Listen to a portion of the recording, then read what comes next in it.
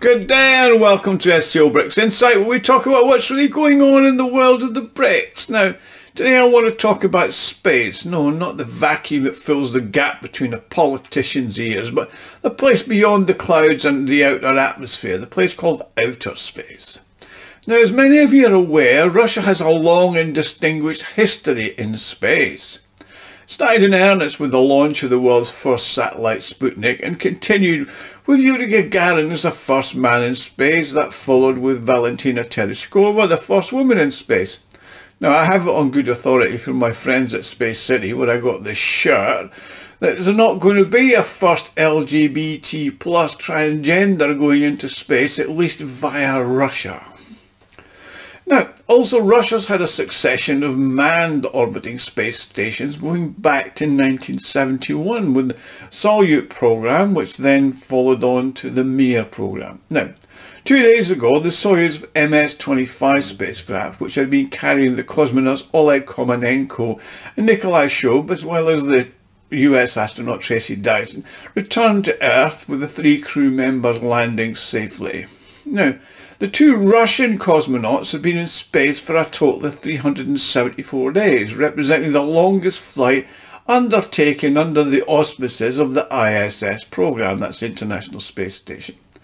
Now, analysts have highlighted the significance of the record in preparing for long-term interplanetary missions, such as the expeditions to Mars. Now, these are obviously being talked about a lot. Plus, the data obtained from the experiment will be invaluable to the entire global sector, including Elon Musk, as SpaceX lacks the necessary experience of prolonged human presence in space. So, how does the work and experience in orbit relate to the potential for interplanetary flights? Well, the record set by Oleg Kononenko and Nikolai Chub is of great importance in the field of cosmonautics, particularly in the context of preparing for these interplanetary missions like Mars.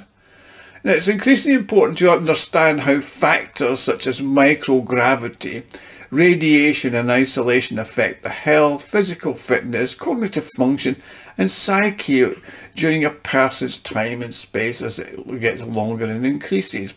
According to Nicholas Oxman, who's an expert in manned spaceflight and the author of Cosmonaut Diva Channel. Now, before I continue, I'd like to make an appeal.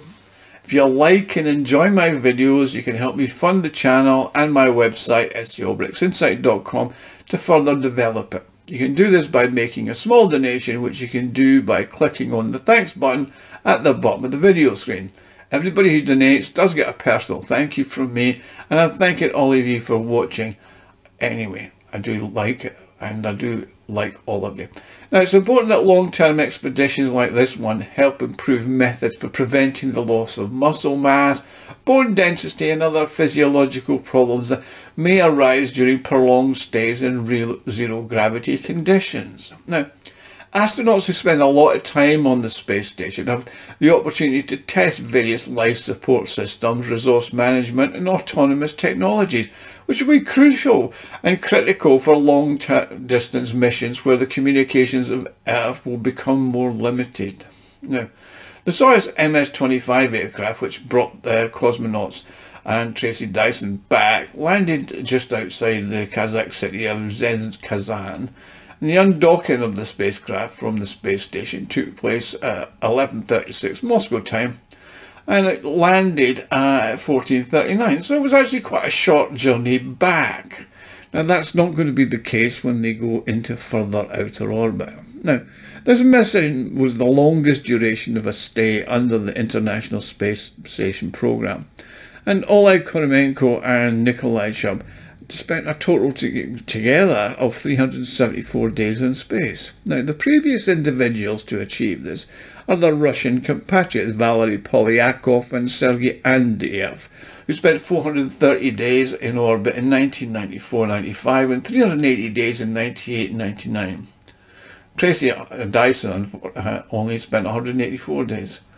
Now, according to Dr. Aslan Niyakov, a physician specialising in aviation and space medicine at the Institute of Medical and Biological Systems of the Russian Academy of Science, has noted that the main challenges for astronauts on long-term expeditions is the prolonged effectiveness of weightlessness on the human body. Now, been noted that cosmonauts only experience an overload of stress on the body during the takeoff and landing stages and that's regardless during the duration of the flight or the orbit. However, during the states of the orbit in space itself, the body has an insufficient stress load. For example, all our Oleg Kononenko spends over a thousand days in orbit with no stress. Now the future expedition to Mars will last around 500 days and that's there and back, which is twice what the current cosmonauts have spent in the space station. Therefore, such long flights will provide an opportunity to better study the effect of space on, on the body, according to Aslan Nazarov. Now, when the cosmonauts come back to Earth, medical studies are going to be conducted to assess the impact on their almost year-long stay on the International uh, Space Station, particularly on their cardiovascular system, their muscles, bones and other organs. Now, the primary objective of manned cosmonautics is to develop the capabilities to live and work in space, according to Dmitry Sergeyevich.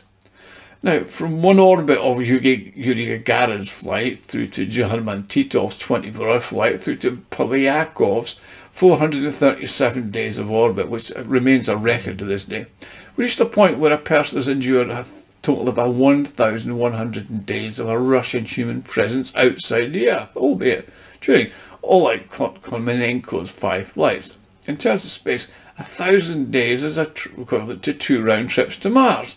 That's the rough equivalent of the physical condition of knowing Kononenko, who could be somebody who's already done something that long. Now, it's important to note when you're travelling to other planets, cosmic and solar radiation will be additional factors to consider in spaceflight. According to Dmitry Sergeyevich, he stated that in line with the current requirements for cosmonauts, the maximum permitted duration of a single flight uh, in a long career is one year. Now furthermore, cosmonauts have demonstrated that a person can survive quite well in microgravity conditions for a year and a half, with and without breaks. Now, according to Andrei Ionin, who's a member of the Russian uh, Academy of Cosmonautics and a very clever man, by the way, I've met him several times, states that the practical value of the long flights and orbits is still limited. He says, of all space missions currently in preparation, only the expedition to Mars will last for a comparable length of time.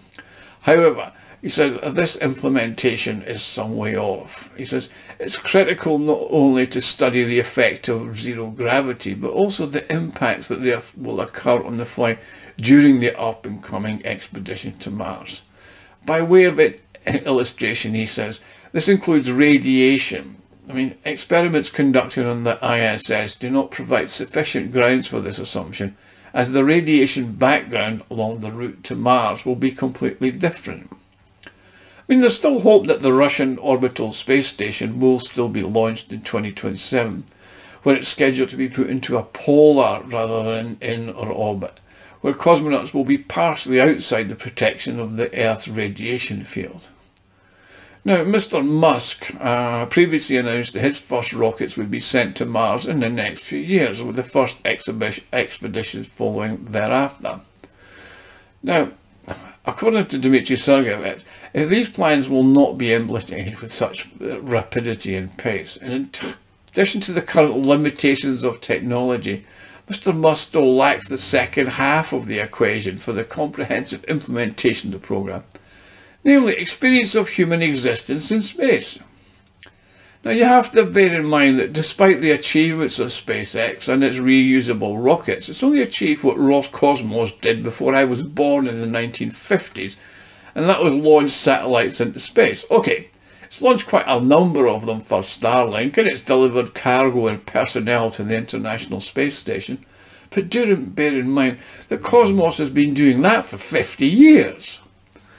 I mean, okay, it's built and launched manned space stations, Roscosmos has, in orbit since 1971 with a series of Salyut stations followed by Mir and then the International Space Station.